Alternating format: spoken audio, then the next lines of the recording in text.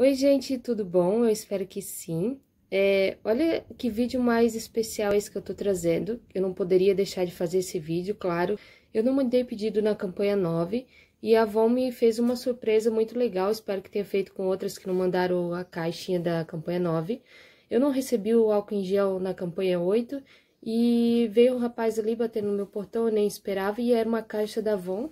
Eu fiquei até surpresa. E ó, Olha só o que que veio. Uma caixinha com um álcool em gel, ó, grátis.